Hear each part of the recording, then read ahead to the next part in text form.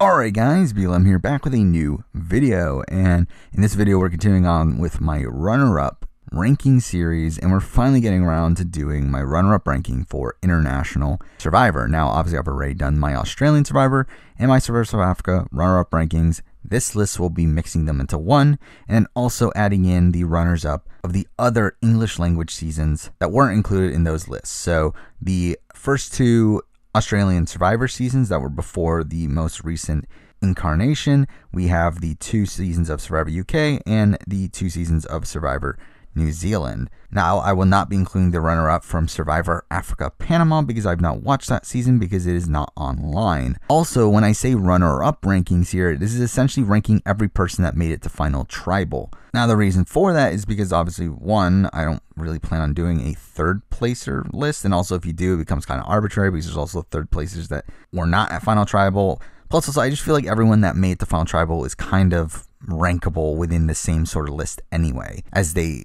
still played the same amount of game. It's just more so a matter of like how many votes they got at the end. But with that out of the way, we have 22 runners up to rank here. So let's start off with the very bottom. And I will say that the bottom tier here of runners up is pretty big for me. I would consider half of the runners up that we're about to talk about as being a bottom tier runners up in the grand scheme of Survivor. Obviously, within those tiers, there are sub tiers as well. And we're going to start off with the first two people we're going to be talking about being people that were voted out of the game and had to come back. And this is a person that whose game I've already talked about in my Australian Survivor runner-up ranking. But here at 22, at the very bottom, we have Tara from Australian Survivor 2017.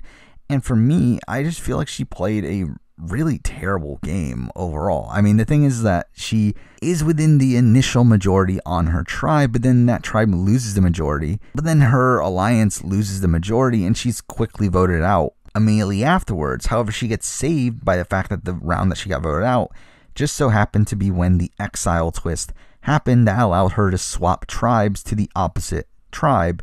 And in turn, she becomes a power player on that tribe because of the position that she was put in, where she becomes the swing vote. And then after that, there's another swap where, which greatly benefits her again, where she's able to take out her biggest rival in AK. And by the time the merge, she's essentially looked at as a GOAT. She's an easy person to take to the end and win against. But even then, she's not even within the core majority alliance, where she's on the outs of the Henry vote and is proceeded to be left on the outs immediately after that into three to two to two to two vote and really just follows Locky's lead throughout the majority of the game. Now she does flip against Lockie at the final six, but again, she's already in a losing position at that point. At that point, she's already never going to win the game. Plus, also someone that just isn't respected, both just due to her natural nature, but also from the fact that she was already voted out. She essentially becomes the kingmaker of the game, where at the final four, she decides to save Jericho. And when Jericho wins final immunity, he takes her to the end and she loses in what should have been an 8 to 1 vote, but she does gain the votes of Sarah and Peter, largely due to Jericho's mistakes,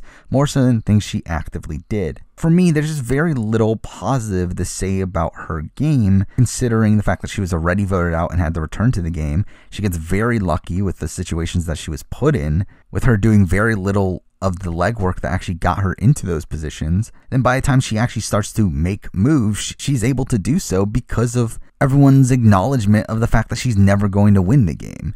So for me, again, like Tara, one of the worst runners up in the history of the show for me personally. She's here at number 22. Now, number 21, another runner up that was voted out, and we're still with Australian Survivor, but this is actually one that I haven't talked about yet, and that is the runner up of Celebrity Australian Survivor, and that is Justin. Now, Justin is actually someone that I actually think played a somewhat impressive game outside of the fact that he was voted out. I think if there were more people that had been voted out that were included within this ranking, he would still probably be at the top of the people that were voted out because I think he actually plays decently well. Now, again, he does get lucky with certain situations. I mean, he is the only guy on the women's tribe, and through that becomes a pretty central piece on that tribe as they don't want to get rid of him because they need him for challenge strength. And because that he's able to be, again, well positioned very early on. He gets swapped into a position that should have been beneficial to him, where he does get swapped into a 3 to 2 majority. However, Amber ends up flipping for some reason, again, this is a weird season where, again, celebrities, they're trying to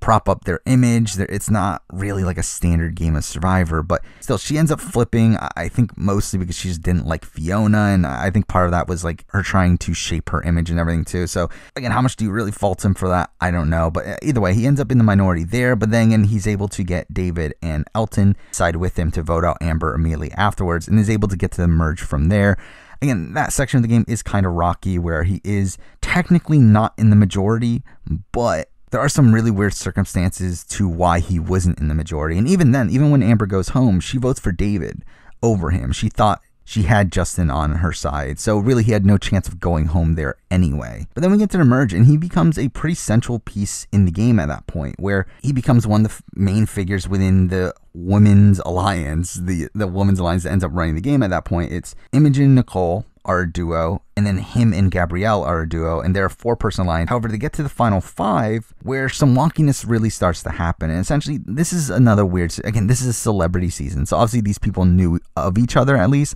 but some of these people actually knew each other. Like Justin and Gabrielle were friends outside of the game. And supposedly, what ends up happening here is that there was some conspiring to share prize money from Justin, and through that, Justin gets called out on it and is promptly voted out immediately afterwards. And again, like this is a weird situation where, like, again, he's voted out for something that, to be honest, wouldn't have occurred on a standard season. If this was a normal season of Survivor, there would be no conspiracies about sharing money. You wouldn't think, at least. I mean, again, like, who knows with Survivor Nicaragua, but still, it's like typically that isn't a thing. And also, he was voted out because he had a relationship from outside of the game with Gabrielle. Again, another aspect of it that's like this wouldn't happen on a normal season of Survivor. So it's like he gets voted out here, and I, you definitely still fault him for that.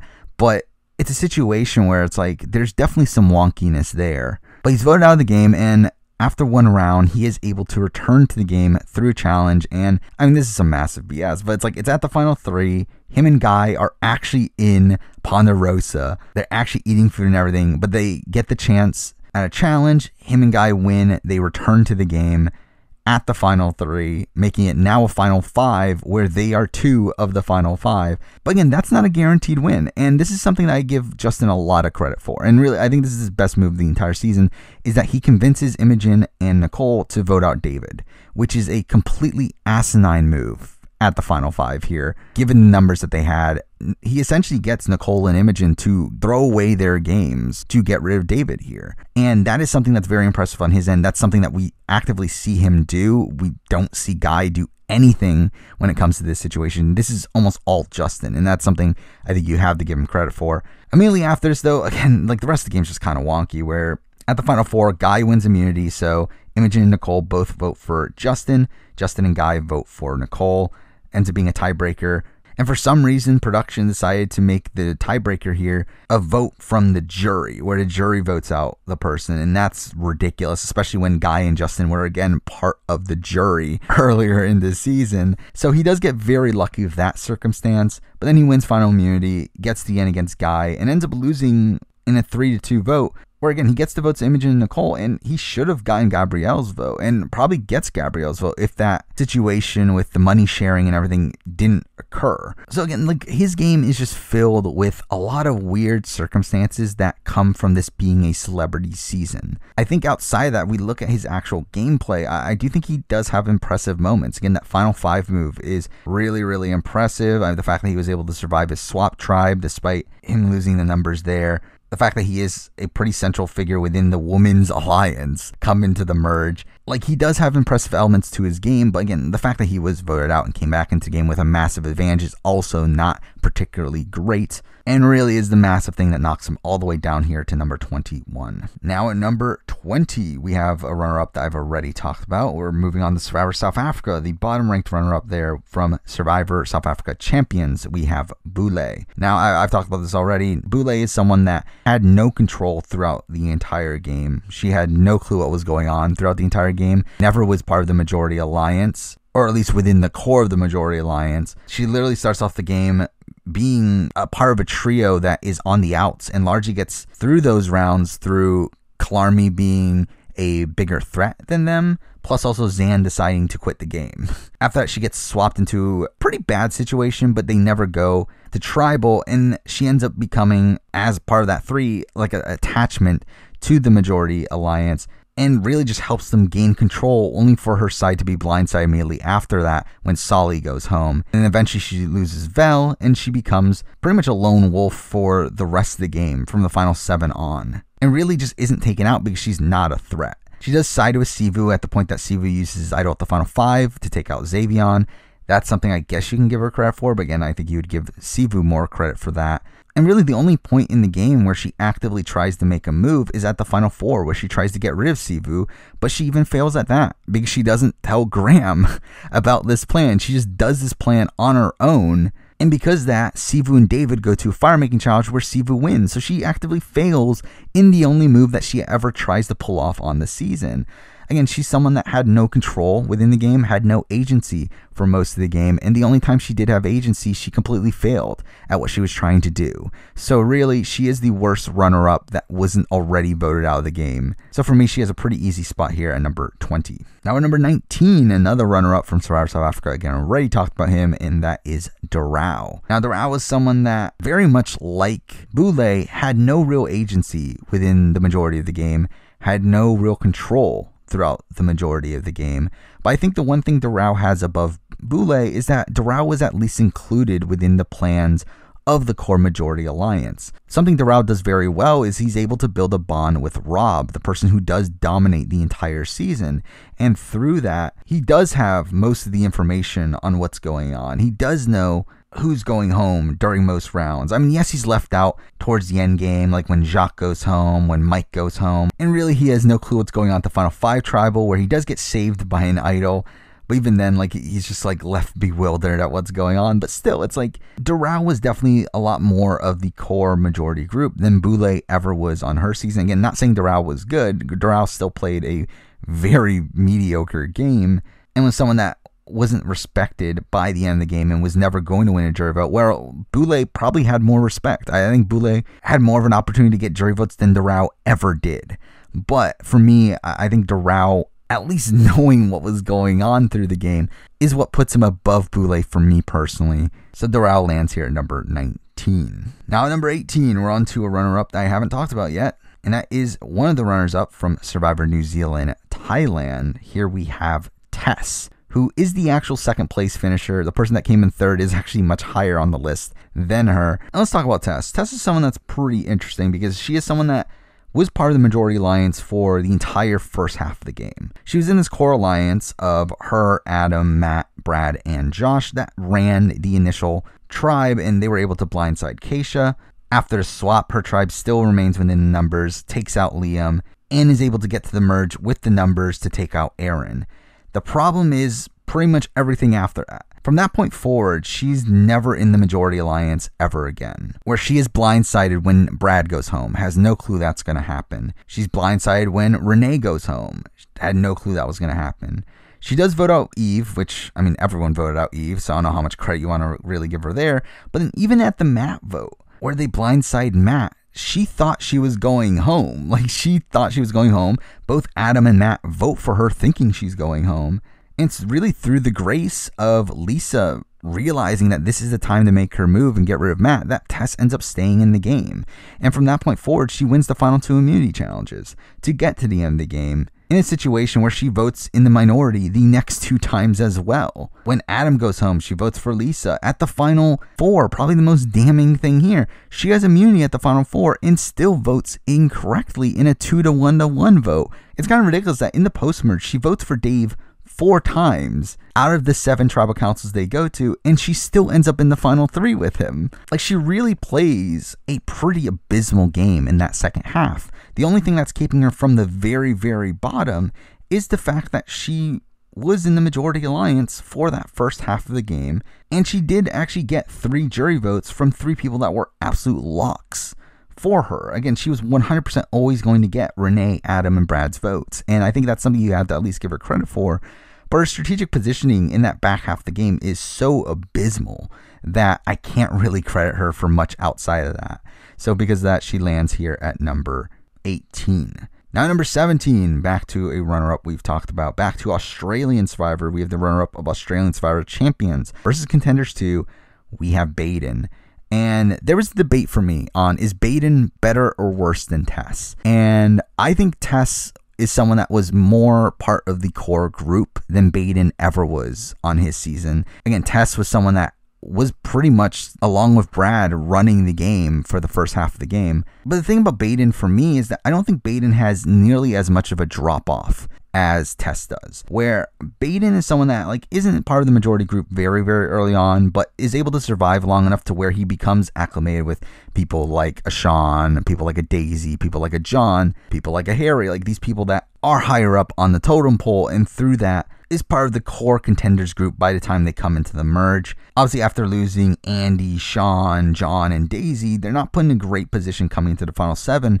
But that's where I think Baden's game kind of picks up. Now, I, I, would give Harry a lot more of the credit here for the moves that happen here over Baden, but Baden was still involved in flipping over Luke and Abby to take out Simon at the final seven.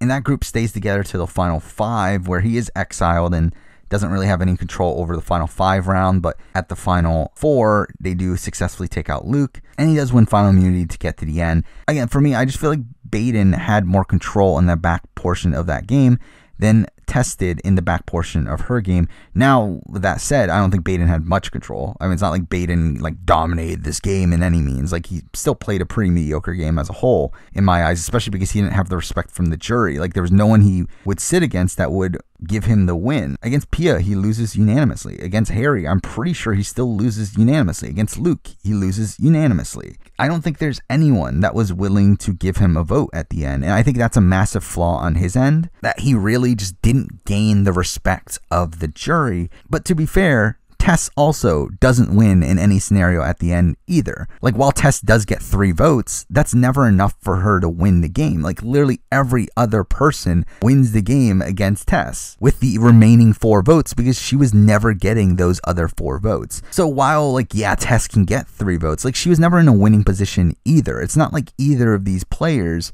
were winning the game. So, for me, I just have more respect for how Baden got to the end than how Tess got to the end where again Tess was completely clueless the entire way and had to win the final two immunities to get to the end. Even after that, she was clueless. Baden at least had more agency within the end of the game, knew what was going on at the end of the game, and while he didn't have full control over much at all throughout the game, he was at least more in the know. So for me, that's enough to put him here at number 17. Now, number 16, we're moving back to Survivor South Africa Champions, the other runner up from that season. We have Sivu. And I've mentioned this already in my uh, Survivor South Africa runner up ranking.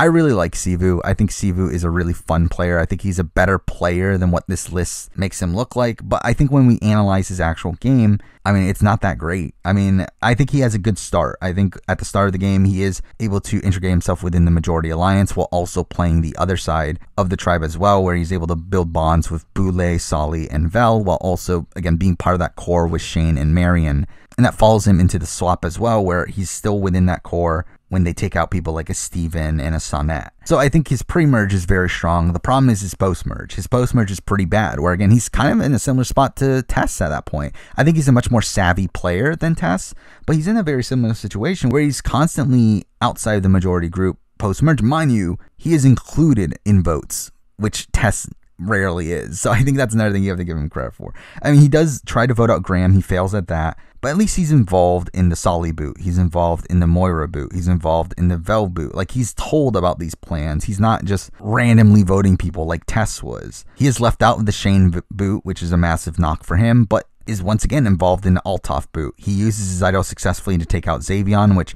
again I don't love that he needed an idol that he shouldn't have had to begin with, but I do think he makes the correct strategic move with it. But then also at the final four, I think you have to knock him for losing the loyalty of Boulay. Again, like the fact that Boulay T- tries to take out Sivu and fails, that's a massive knock on her end. But I think it's also a massive knock on Sivu's end that he wasn't able to keep her loyalty especially when Boulay is someone that was extremely loyal for the rest of the game. So again, for me, like Sivu, I think played a very strong first half of the game, but just had a very, very mediocre second half from failing to get his target out, from needing to use an idol at the final five, from losing the trust of Boulay. Like, those are massive knocks for me. So, because of that, he lands here at number 16. Now, at number 15, another runner up I haven't talked about yet. We're actually moving on to Survivor UK Season 1, Pulau Tiga. We have Jackie. And Jackie's game is someone that is so hard to assess for me personally because Jackie is someone that was part of the majority group technically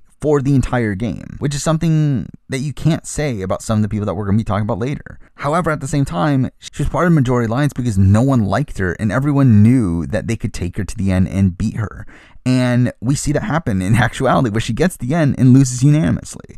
So for me, that's a very tough thing to really wrap my head around because, again, like I do give a lot of credit for people staying within the majority. I think that's something that is very integral within the game of Survivor. However, at the same time, when you're staying within the majority as a person that's destined to lose at the end, that is also a massive knock at the same time. So Jackie's game is pretty much the embodiment of that dichotomy there where she never wins in any scenario, but along with Richard does end up dominating the game. Now, obviously, I give so much more credit to Richard than I ever would to Jackie, as Richard was someone that would have beat her at the end and was actively trying to drag her to the end.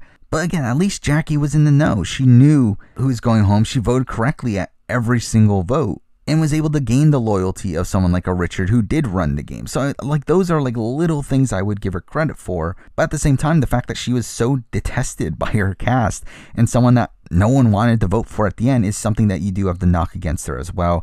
But again, for me, at least she was within the majority for the entire game, unlike all the people we've already talked about. So for me, she lands here at number 15. Now, number 14 is someone that, to be honest, this was a massive debate for me. Is, is Jackie better or worse than this person? I decided worse, but I think there's a serious debate for that. We have the runner up of Survivor South Africa, Philippines.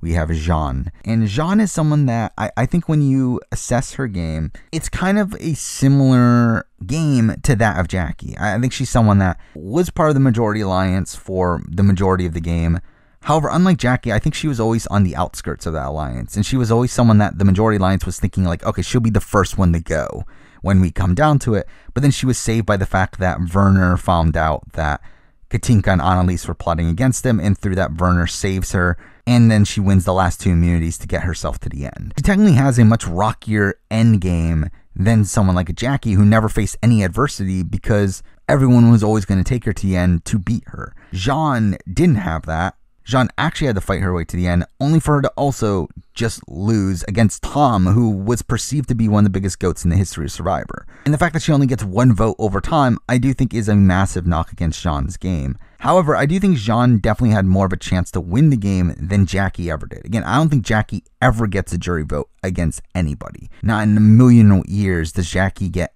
anywhere close to a win.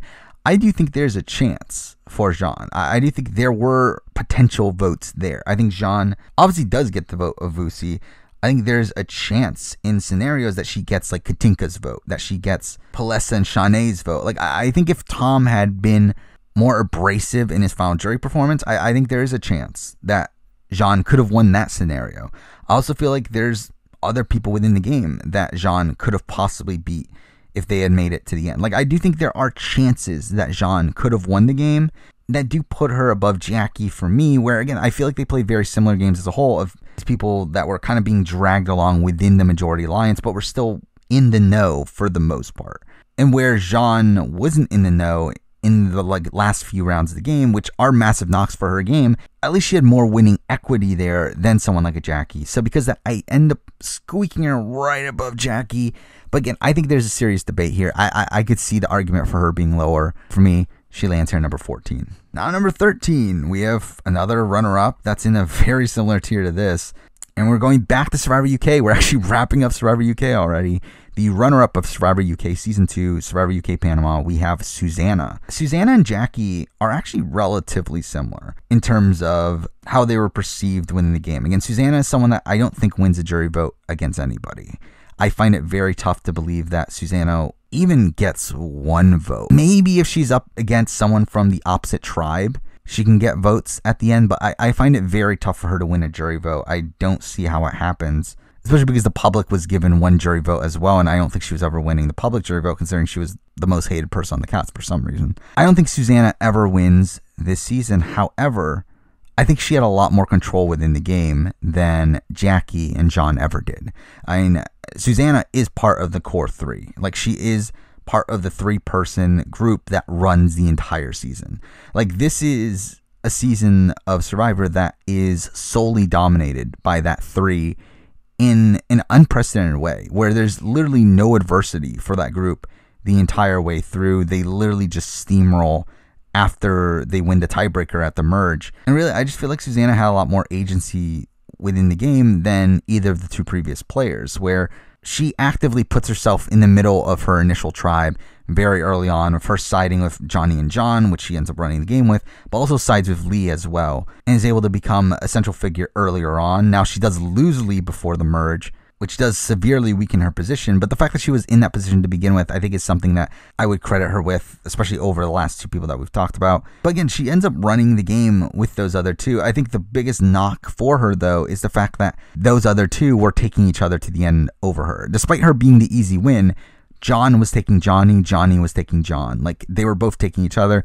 Susanna essentially becomes the kingmaker when she wins final immunity, and she does end up taking Johnny to the end to give him the win. But I think that's the biggest knock for her is the fact that she was going to the final three with two people that weren't going to take her to the end. But at the end of the day, she was definitely uh, in control a lot more than any of the players that we've talked about so far. Plus, also had some agency earlier on in the game that lands her above Jackie and Jean for me, so she lands here at number 13. Now, number 12, the top of the bottom tier for me, is a runner up that I again have a very tough time assessing. And it's one that we haven't talked about yet, but is a runner up from Survivor New Zealand. Nicaragua, we have Barb. And Barb is so tough for me to assess because Barb essentially dominates the game. Like she runs the entire post merge of that season, which I think inherently you would think, okay, then she should be very, very high. She should be in the top tier. The problem is, is that she was running the game to give the win to Avi. She was running the game so that she can allow the person she wanted to win to win. She doesn't try to actually win the game, which is something that again is very tough to wrap my head around on how where she should rank because it's like she yes, she runs the game, but she doesn't do it to her own benefit. I think if she were running the game to try to get herself the win, she would obviously rank a lot higher. Like, even if she had lost at the end, if she had voted out Avi, voted out Tom, tried to get to the end with like a Nate and a Shay, of the lesser respected people on the cast, like, then she would be a top tier runner up. The problem is that she actively goes against two of the biggest jury threats in the cast because she wanted to give them the win. And she just completely blows the opportunity that she was given. Now, again, like, do I think she ever wins a jury vote? Probably not. I mean, I, I like, there's a chance, I guess, but it is very tough for her to do so. But at the same time, that's also a knock against her and the fact that she was never going to win a jury vote. Then again, you can also bring up the fact that a lot of that's perception based and the fact that she was this obviously like this grandma figure on the tribe and stereotyping that comes along with that. But I think once she makes the Sala move, which is the be- one of the best moves of the season, the fact that she blindsides Sala, one of the biggest moves that allows her to run the game.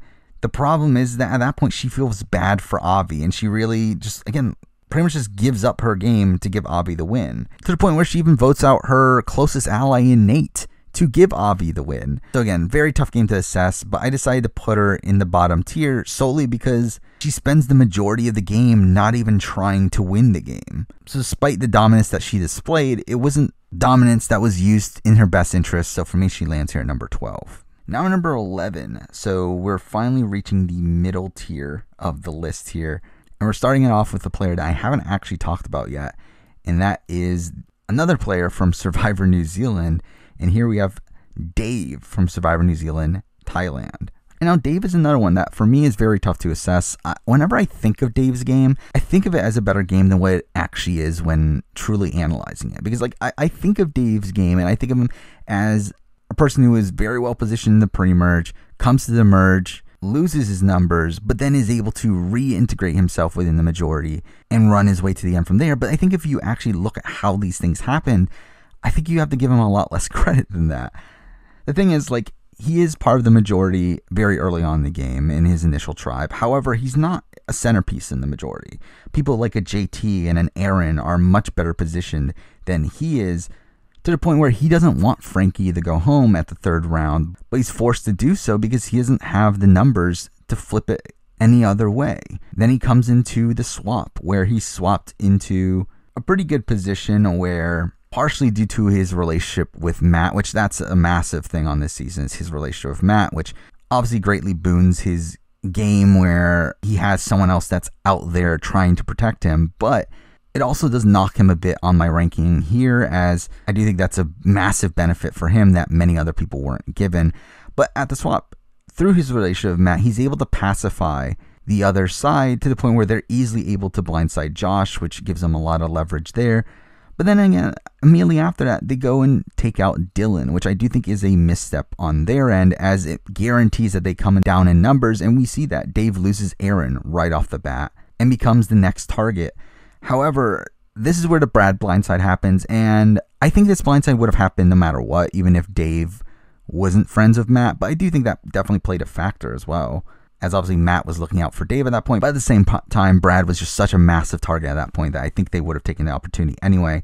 The Renee vote is where it gets very questionable for me. I don't think he survives the Renee vote if he wasn't friends with Matt. I, I think that's a situation where why are they keeping Dave in over Renee? It's still like a really weird choice if you don't understand the context of Dave and Matt's relationship. But that happens. Eve goes out next. I think that probably still would have happened. But again, that's something that he personally didn't want to happen. So can't really credit him too much for. And then we get the endgame stretch where he flips against Matt. Again, really great move, but I would give more of the credit to Lisa, as she was the one to fully orchestrate the move. And also, I don't even think that was fully in Dave's best interest at that point in the game.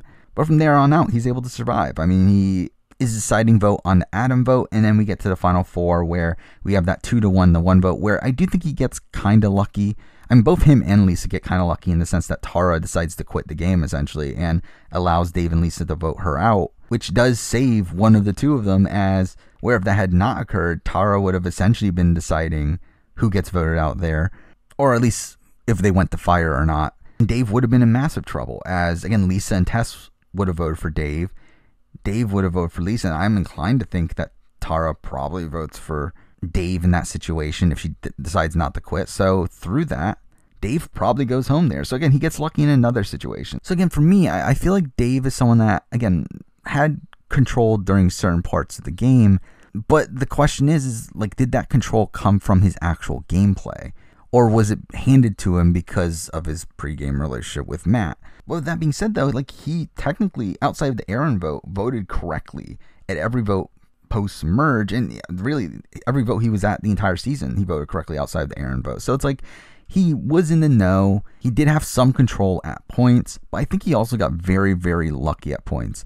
And because that, it's very tough for me to put him anywhere but the bottom of the middle tier here because there's just so many question marks with his game on how much of it was his actual skill.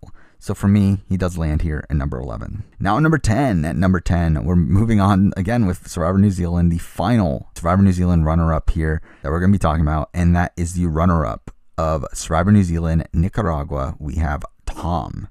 Now, I think something that does affect Tom's game that you don't typically see on a standard season of Survivor is the pre-game, not necessarily in the sense of an all-star season, in the sense that they were like making deals before they were even flown out to the island. Here on Survivor New Zealand Nicaragua, for some reason, they decided to allow the players to interact while at Ponderosa before the season started. And through that, Tom was able to build very blatant bonds with a lot of the people on the other tribe. People like a Mike and a Lee and a Jack, like the people that he would later be aligned with later in the season when he got tribe swapped. But on his initial tribe, he kind of gets screwed over by that in the sense that he gets put on a tribe with all of the other people essentially. And, and because that he's put in a pretty bad spot but he's able to make it through because he builds a really strong bond with avi. And avi fights to keep him there all the way to the swap where at the swap he does flip. I mean he does flip to the other side though. I mean he puts a vote on mike anyway just to keep up appearances. But then at the merge he does fully show his loyalty and does lose out on that vote where lee goes home and then followed by mike going home. And he gets to the final eight, losing most of his numbers. Now, he is part of the solo blind side. He isn't like the main orchestrator of it, but he is part of it. But even without that, he actually goes on a pretty big immunity run. He wins five immunities over the course of the season for the remaining seven tribals that occur. Like, he's only not immune for two of them. But the thing that's kind of impressive about this is that he didn't really need those immunities to a degree. Now, the immunity at the solo boot is questionable. I think the solo boot still happens even if he doesn't win immunity, but there's definitely a chance he would probably go home there. And same thing with the jack boot. I think there's a chance he gets taken out there if he doesn't win immunity. But the remainder of the game is in his favor, where Barb at that point decides that she's going to take Avi and Tom to the end.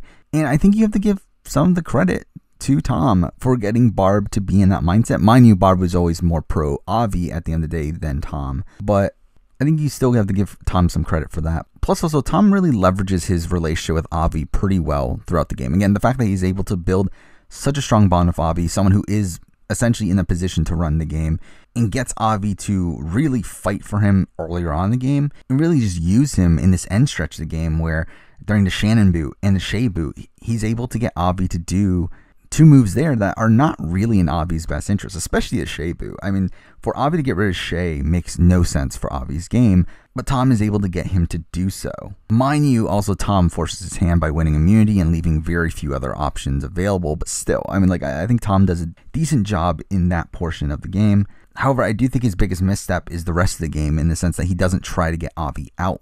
He has two more opportunities after that to get Avi out. His plan should have been to get Avi out if he wanted to win, but he just never does that. And I think that's the biggest flaw of his game because I think if he does get Avi out, he more than likely does win a jury vote as long as he's not sitting against Mike at the end. So overall, I'm like Tom. I think is a person that is probably a better player than his actual game displays because again, like I think his game is a game that is harmed initially due to some out of the game circumstances. He ends up siding with the wrong side at the merge that leaves him out of the majority initially, but he's able to get back into the majority through the grace of Avi. And really, it's his relationship with Avi that really dictates his entire game. And his management of that relationship is really what lands him as high as it is here at number 10. Now, at number 9, we're moving back to Australian Survivor, the only person on this list that's on here twice, but we have the worst of her two games, in my opinion, and that is Sharn's game from Australian Survivor All Stars. Now, I think Sharn played a much lesser version of her original game on All Stars here. Now, Sharn is always the type of player that is able to ride the middle. She's someone that's able to align with like the athletic crowd, but also align with the sort of like nerdier, less athletic crowd. Like, I think she does a decent job at riding the middle.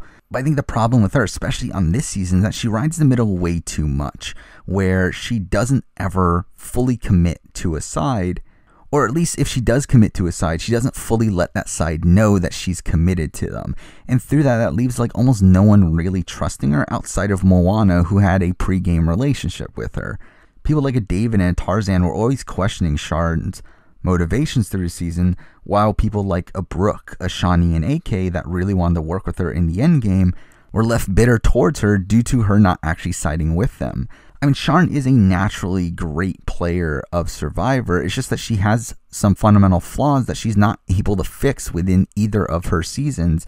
And I think this season of Australian Survivor All Stars really displays her flaws a lot more blatantly. Where despite being very well positioned, like f- throughout the entire game, she does so much work to position herself in a way that she's going to get to the end under almost any scenario. I mean, she gets to her perfect final three with David and Moana, two people who are both going to take her to the end. The problem is that along the way, she ruins her chances of winning the game when she gets to the end.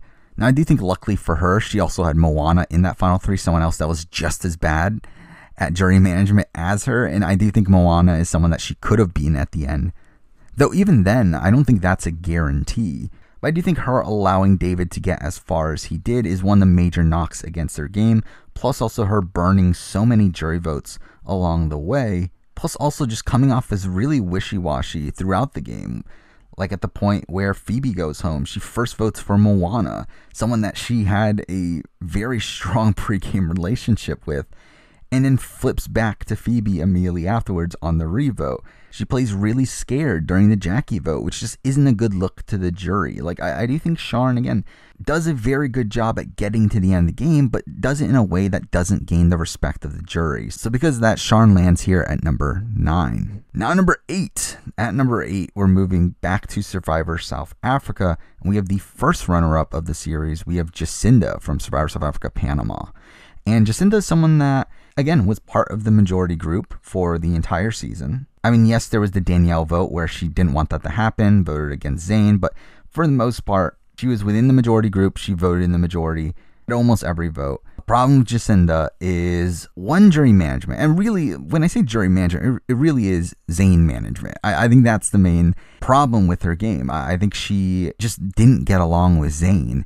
And that really blows up her game multiple times through the season. I mean, one, she loses her ally in Danielle and votes against Zane. That leaves Zane upset at her. Her initial plan was to go to the final three with Gareth and Zane.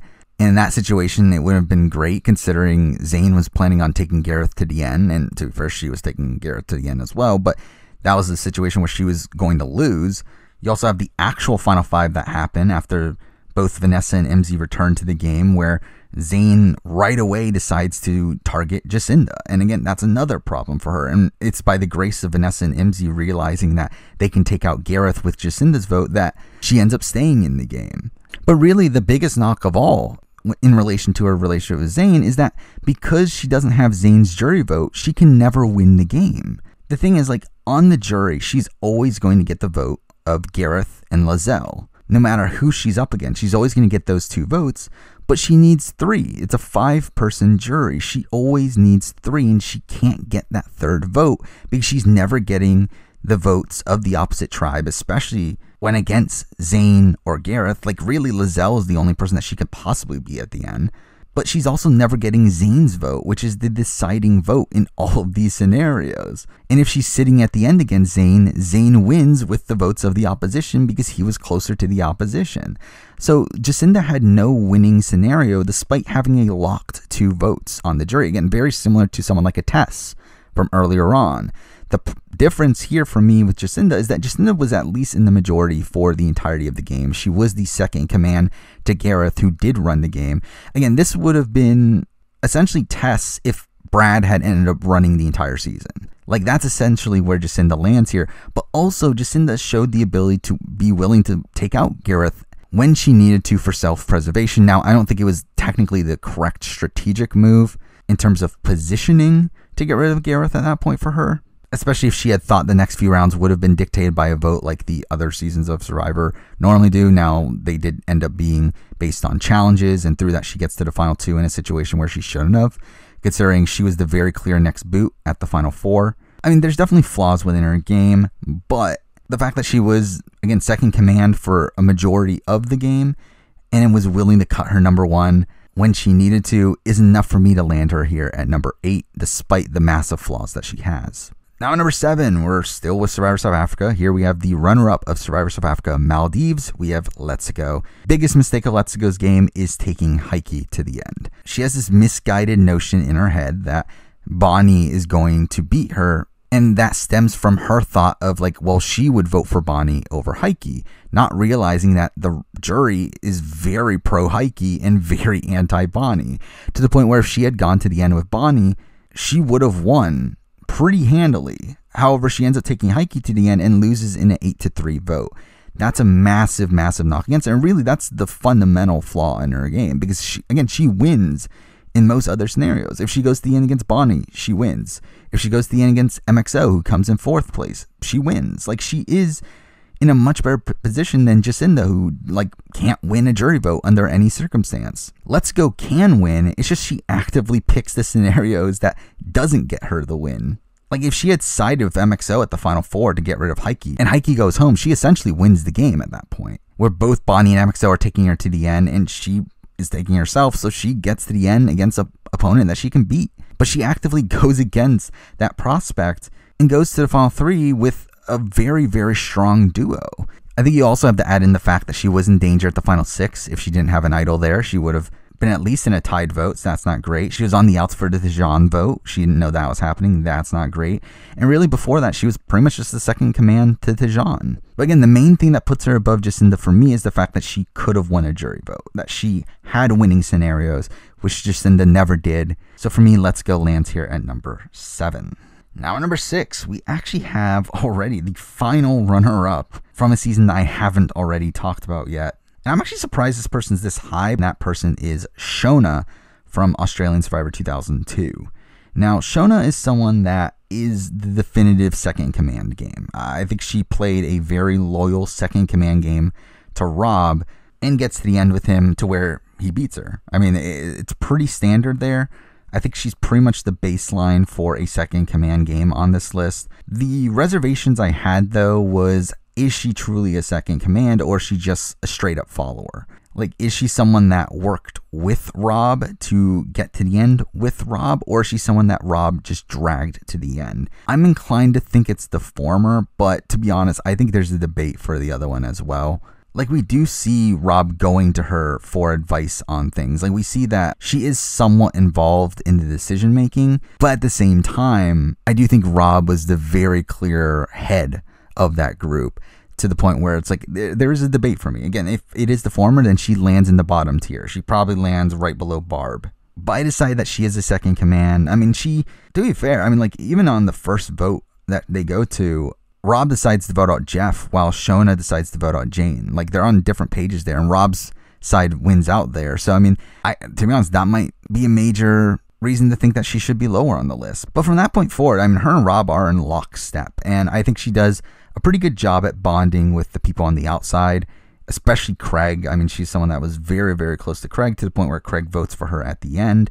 I mean, she does get two votes at the end. Mind you, that one vote being from Katie, who is very anti Rob. But I think at the same time, I do think there's a chance that she could have won that jury vote. I, I think if Rob had performed a bit worse at Final Tribal, I think there's a chance that Shona could have gotten some more bitter jury votes. Also, outside of Rob, like, I think Shona beats almost everyone else. Like, I think Shona definitely beats Joel if she gets the end with Joel.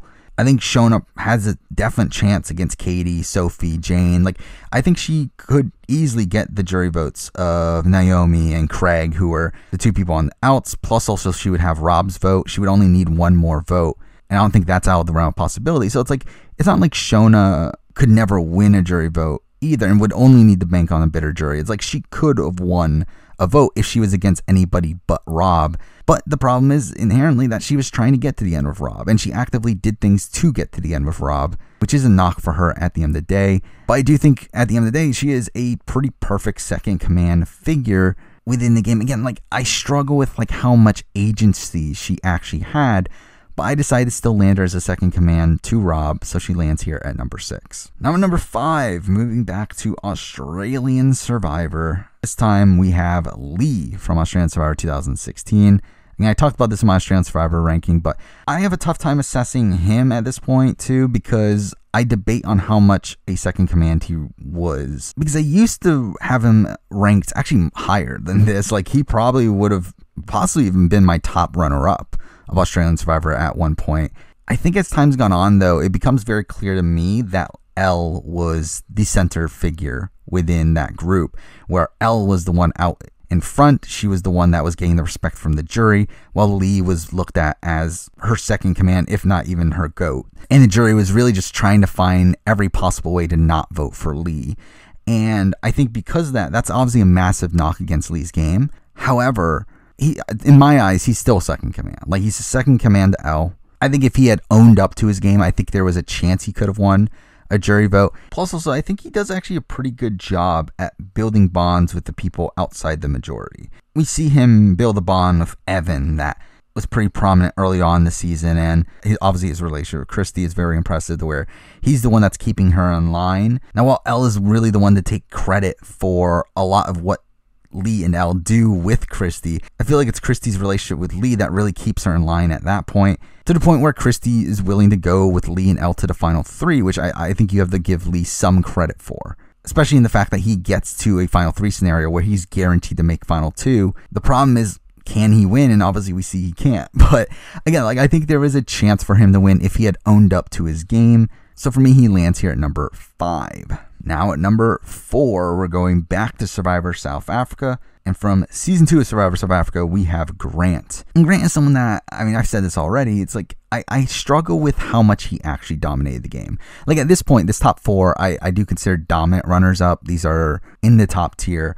However, with Grant, I think he's barely there, mainly because, like, even though he is the one talking to the audience as if he's dominating the game, I think when you actually look at how the game played out, it's like, was he actually dominating the game though? I do think he has control over that first round and really the second round on his tribe as well. I think both of those votes are in his best interest and they are both involving him in the majority there. However, after the swap, I mean, I think the Lisa boot is probably the big example of like, did he actually have control there? Because like we get in the edit of him like saying he's willing to let her go, but it's like it doesn't make sense for his game. Like it's not something that would benefit his game. So I don't feel like he was fully in control there.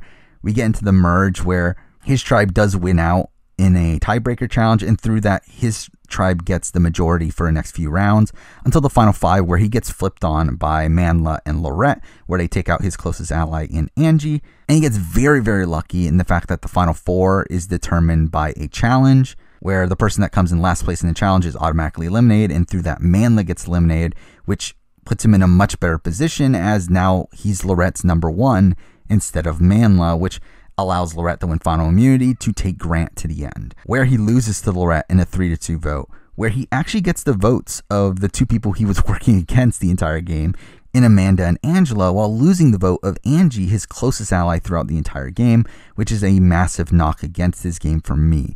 Again, like, I, it's tough to assess his game because I think he talks about his game as if he's the dominating figure. The show presents him to us as the dominating figure, but when you look at his actual game, he's not really the dominant figure. Like he is very, very early on, and then I think you can debate it in the early merge, but outside of that, there's definitely points where he doesn't get his way. And because that, for me, he's the worst of the dominant runners up for me personally, so he's here at number four. Now at number three, we're jumping back to Australian Survivor. The top ranked Australian Survivor runner up for me is here at number three, and that is Sharn's game from Champions versus Contenders 1. Now, again, like Sharn, again, I, I, think does a very good job in the season in the first half of the season. I, I think really up until Matt Rogers boot. So, really, like almost like the first two thirds of the season. I think she plays very well up until that point. I think she's a center figure within the majority group on the Champions tribe with her relationship with Moana and Matt Rogers.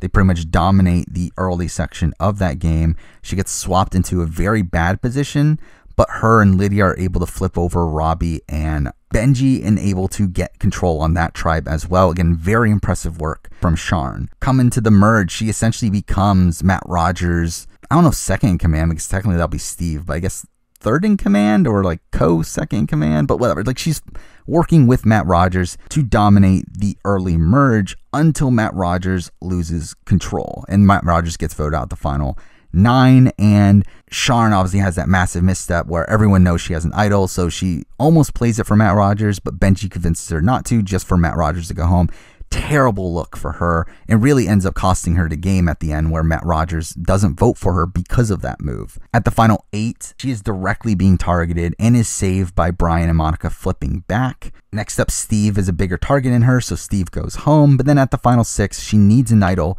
to survive the final six round, which she does use successfully. So some credit for that, but also a knock against her for needing an idol. At the final five, it's her and Shane that do flip Shonee against Monica. Again, I think you have to give her some credit for that. And then at the final four, her and Shane again trick Shonee into doing a two to one to one vote when she was directly being targeted by Brian. Again, another pretty good move on her end. And then she wins final immunity and makes a really poor decision taking Shane to the end, where Shane ends up beating in her 5 to 4 vote when she would have easily beat Brian possibly unanimously. So, I mean, again, like, there's highs and there's lows. It's a very rocky game. Obviously, the highs outweigh the lows for me again, like her first like two thirds of the game, I think is very very strong. I think some elements of her end game, specifically her dealing with Shonee, I, I think is pretty strong. But she has the points where she's out of the majority. She has the points where she needs that idol. She has the point where she makes the wrong decision at the end. Plus, also her final tribal performance is so terrible to the point where she loses jury votes enough to lose the game when she came into that final tribal supposedly having five locked jury votes enough to win. So again, Sharn messy, messy game, but one that has so many highs that she still lands here at number three. And now the top two, and the top two are both from Survivor South Africa. They're the top two in my Survivor South Africa runner-up ranking. Already talked about them, but let's run through it again. At number two, we do have Nicole Capper, the runner-up of Survivor South Africa Island of Secrets. And this was tough actually because I debated on Sharn being higher. And the main reason Nicole is higher here is because Nicole was in the majority for the entirety of the game. Again, uh, Sharn loses control at the final nine and barely even recovers it towards the end game, but, but even then it was with an idol play being necessary to get the numbers close enough to where that was able to happen. So again, it's a very wonky road for Sharn. While I feel like Nicole straight up just has the numbers the entire way through, she pretty much dictates who gets the majority the entire way through, where she is a pretty central figure within the game the entire way through. Where she's able to align with so many people that she has so many options within the game. The problem is that because of how many options she has, and the fact that she ends up burning almost all of those options, she ends up burning jury votes along the way with people like a Meryl, a Jeffrey, a Sipe, even Cobus to a degree, though Cobus does still end up voting for her. Like she burns these people in a way that loses her respect from the jury, especially with her deciding to go to the end with Rob, who ends up dominating the entirety of the game.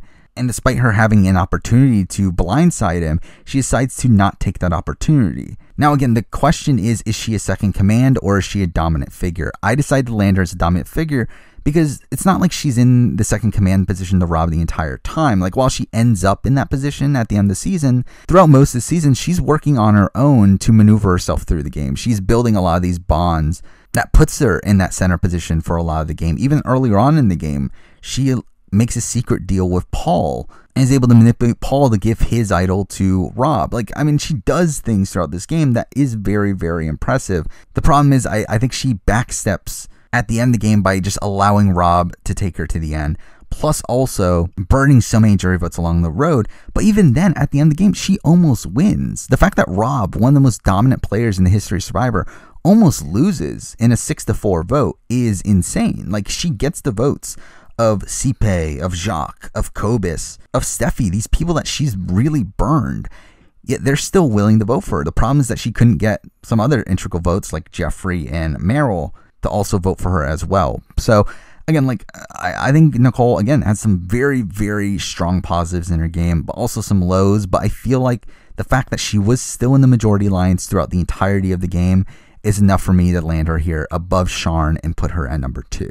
Now, number one, the strongest runner up in international survivor history for me personally, and also in Survivor South Africa history, is Ashley Hayden. Not a big surprise if you've watched my videos where I've talked about her game. Again, I think she played a straight up pretty dominant game the entire way through. I think the biggest flaw for Ashley Hayden is that she makes one massive critical mistake at the very end. I think outside of that, her game is near flawless. I mean, I think right off the bat on her initial tribe, she is the center voice within that tribe. Like, I won't say she's the leader because she's not outwardly being looked at as the leader. I think probably someone like a low is more so being looked at as the leader, but she is definitely someone that's very integral within the decision making within that group. We see her being one of the main strategists of that group and is never really in danger coming into the merge. At the merge, we have a tied vote initially, and her tribe ends up winning the tiebreaker challenge. But then after that, due to Isaac being Isaac, he causes another tie at the final nine for some reason.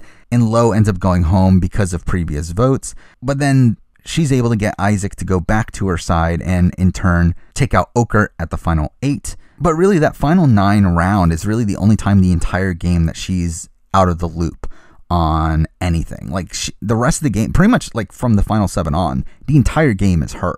Like she's the only person actively making moves. It feels like, and obviously some that could be the editing, but at the GIST vote, something she does very well, she's able to manipulate the tiebreaker rules, where she gets Gigi and Sade to put votes on Kaz, while Proverb puts his vote on Isaac, which gives her a lot of leverage moving forward in terms of tiebreakers. And we see that come to roost right away in the next round, where Ashley goes and tells Gigi and Sade to put their vote on Isaac, while Ashley and Kaz throw their votes on the Gigi, while the other two put their votes on Sade to cause a 2 to 2 to 2 tie. Where in that situation, because of the one vote from the previous tribal, Isaac ends up going home in the tiebreaker. Again, a really next level move in terms of strategic forethought, but at the same time, probably not the greatest move for her jury management, even though she does end up getting Isaac's vote at the end. Next up, she goes and blindsides Kaz, her closest ally throughout the entirety of the game, which is a good move in terms of positioning. The problem is her execution of it.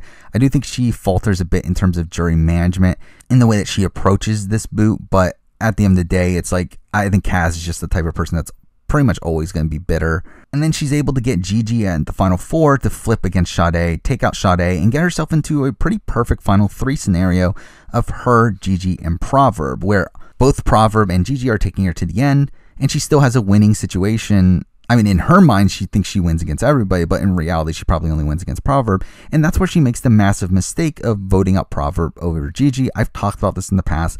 It's a ridiculous vote here in my eyes. Again, when Gigi has four people from her original tribe on the jury on a season where tribal lines were very, very solid right away. Like, it's insane to me that she thinks she can beat Gigi. When again, Gigi only needs one more vote and she knows that Kaz is bitter against her. It's insane that she does this. I think it's really a terrible move. But just everything else within her game is so masterfully executed that I still think she lands here at number one. Now, again, like eventually down the road, I'm probably going to do a global survivor runner up ranking. And will she be number one on that? Probably not. But when it comes to the field of people that we're talking about, I think she's very clearly the best of the bunch. Really just has that one massive, massive flaw that harms her game and really causes her to lose at the very end. But outside of that one move, I think she played a near flawless game of Survivor, so she lands here at number one. And there we go. I mean, that is my runner up ranking for International Survivor. Now, as I said, I would like to do a global one down the road, not coming anytime soon. I mean, it'll probably take forever to make. And to be honest, it's not a massive priority right now, but I definitely want to do that sometime down the road. But this is also kind of the end of my runner up series. Now, I did plan on doing an amazing race runner up ranking, and I probably will still do it at some point. But, but again, at this current point, not really something that I feel like I need to do right away, but something that's definitely in the cards for down the road. But for now, though, that is my International Survivor runner up ranking. Thank you for watching.